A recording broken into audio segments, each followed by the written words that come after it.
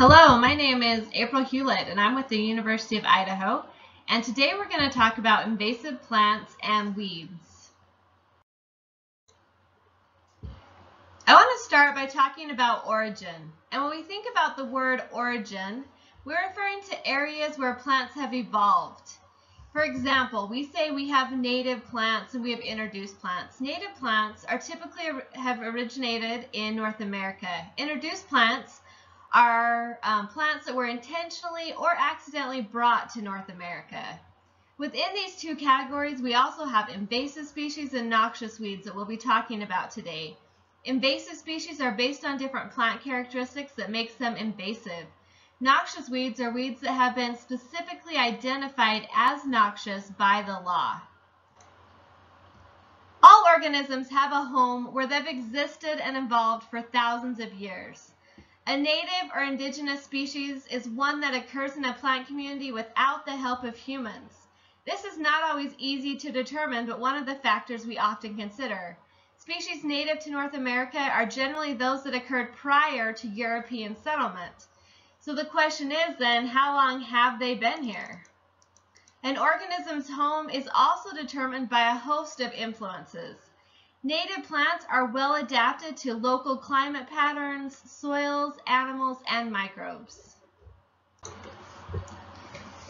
Introduced plants are plants or organisms that have been introduced by humans to an area outside of its natural home range. Introduced plants are often called other names such as non-native, exotic, alien, foreign, non-indigenous. All of these things refer to introduced species. And this designation applies to species that were introduced from other continents, but also other ecosystems or even another habitat within the ecosystem. Since the discovery of America in the 15th century, people have played a very significant role in moving plants, animals, diseases, and other organisms around the world to places far beyond their native home range. Right now, it's estimated that there's approximately 3,500 species of plants that have escaped cultivation and become established and naturalized in native ecosystems. So think for a minute, how did and how are humans introducing non-native plants? Some of the ways could be through grains and food crops, seeds in ships, ornamentals, plants for erosion control. Historically, we brought plants over from Eurasia that established quickly so we could reduce erosion. Plants with high forage value have been introduced, and we always can introduce them accidentally. Introduction of exotic plants continue today and is increasing due to the large and ever-expanding human population. Many of these species, native or introduced, can exist harmoniously in many different ecosystems. However, how native and introduced species respond to new environmental conditions influences whether we consider them to be invasive species. Invasive species are those that establish and spread over large areas and persist. Persistent invasive species often displace our native species. Here I have two examples of a non-native and a native plant. So we have cheatgrass or downy brome, which is a non-native introduced annual. This annual grass could easily invade after disturbance and use resources, making it difficult for our native plant species to reestablish.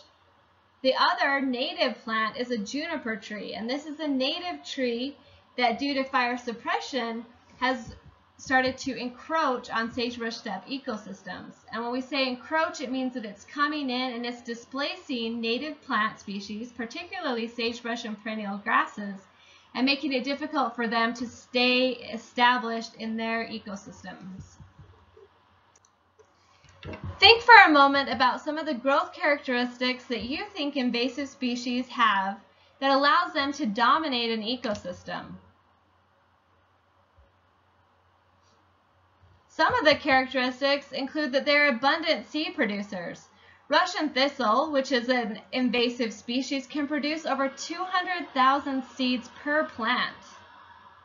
They also have a long-term survival of seeds. Leafy spurge, for example, can have a viable seed for up to eight years. Sagebrush, a species that we actually want, typically has a viable seed for one to two years if we're lucky. Invasive species have rapid population establishment. They're often pioneer species after disturbance, meaning that they come in and they're first to occupy a disturbed site. This gives them a competitive advantage. Cheatgrass, a winter annual, can use the resources more quickly in the spring than our native species, making them more competitive. Invasive species also lack natural enemies. These can include things like insects or microbes or even animals that control populations in their native environments. In natural resources, we often hear weeds and noxious weeds, and we need to understand the difference in these two terms. So what is a weed? A weed is a plant of little value or any plant that's really out of place. It often competes with crops and native plants and it can affect um, the health and the productivity of native landscapes. It's kind of interesting to read different definitions that describe weeds. Here's one from the Applied Weed Science Society. And here's one from Ralph Waldo Emerson, which I really like. A weed is a plant whose virtues have not yet been discovered. So sometimes when we're dealing with weeds, maybe we just haven't discovered all the virtues. What is a noxious weed then? The real difference between weeds and noxious weeds are that noxious weeds are designated by law. It typically has economic damage and it's a threat to human interests.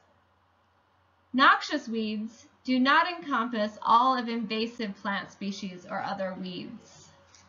For example, in Idaho there are hundreds of weed species. However, there are only 67 that are designated noxious by the Idaho law. In comparison, there's 47 noxious weeds in Nevada and there's 27 noxious weeds in Utah. So I'd like you to take a few minutes and watch War of the Weeds. This was a video that was done by Outdoor Idaho and it's really well done and it talks about some of the plant species that you have to memorize for this class that are noxious weeds. And it also just makes some really interesting points and discusses the difficulties that we have with noxious weeds and natural resources. So it's definitely worth your time and there most likely will be a question from the video on the next exam. So hopefully after you watch the video by Outdoor Idaho, you have some idea of how weeds can impact rangelands.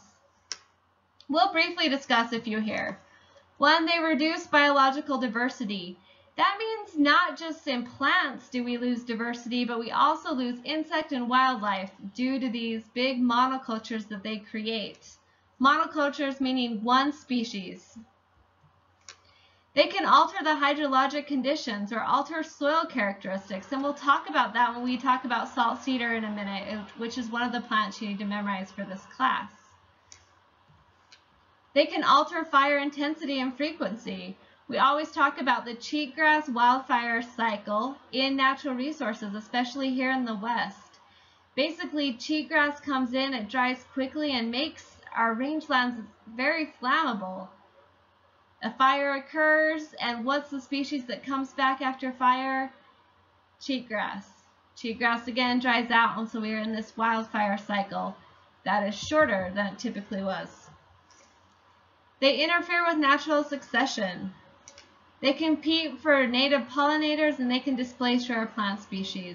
All of these things negatively impact rangelands. So as part of this section, I'm going to introduce four different plants that you need to memorize for this class and be able to identify for the exam.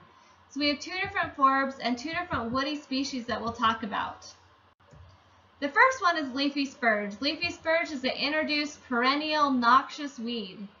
Some of the ways you can identify leafy spurge is by its yellow-green colored flowers that are arranged in tight clusters of 7 to, 7 to 10 flowers. These are surrounded by a really showy heart-shaped bract.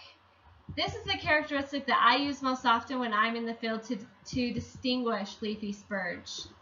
Leafy spurge has roots that can reach depths of 30 feet And a lot of these roots are really dark and they have pink buds on the roots.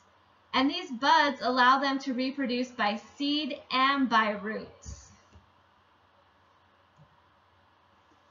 Leafy spurge also has a milky resin. So if you break the stem, you can see that it has milk, a milky resin inside. Here are a few more images of leafy spurge invasions in rangelands. You can see how they grow in really tight clusters.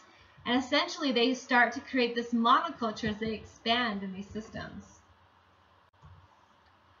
The next plant is spotted knapweed, and this is a perennial that's introduced. It is also a noxious weed. So some of the characteristics that help you identify spotted knapweed is that it has a composite seed head. If you can't remember what a composite seed head is, go back to the morphology um, presentation and look at that again. This particular plant has disc flowers in it.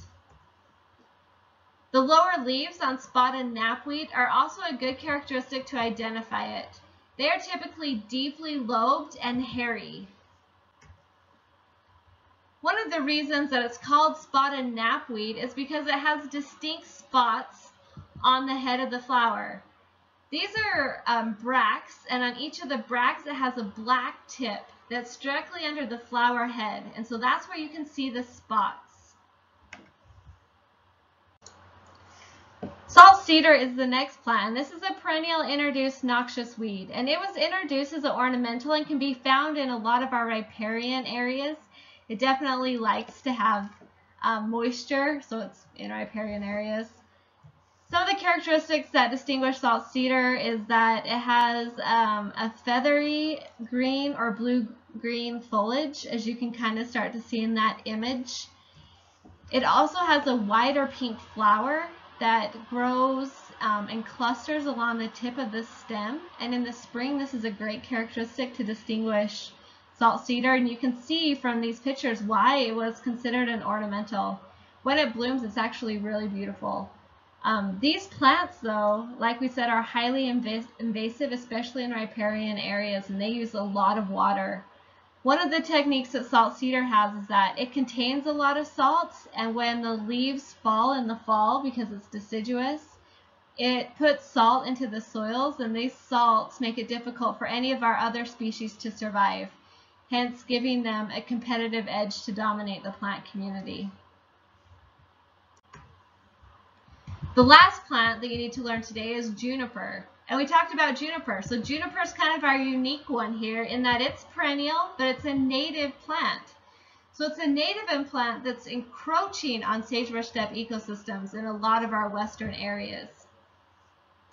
Some of the characteristics that you can use to identify juniper are that the leaves look like overlapping scales. They're pressed really close to the twigs and they overlap. The fruit on juniper, or the berry-like fruit, is often bright blue, but also contains the kind of a white chalky coating on the outside. Junipers are evergreen, meaning they're not deciduous, so these leaves stay on year-round and so they can photosynthesize all year long. Due to fire suppression, like I mentioned earlier, juniper encroachment on rangeland is displacing a lot of our sagebrush steppe communities, like sagebrush and perennial grasses and forbs. This also, also alters the hydraulic cycle by increasing bare ground, so we have higher erosion rates. This makes it really difficult for any kind of native plant species to come back. So it's essentially a native that's outcompeting other native plants. Juniper, although we cut down a lot of it now in um, due to sage grouse issues, it also is important to keep in some places. It is native and it does provide great winter habitat for a lot of our wildlife species like mule deer and elk.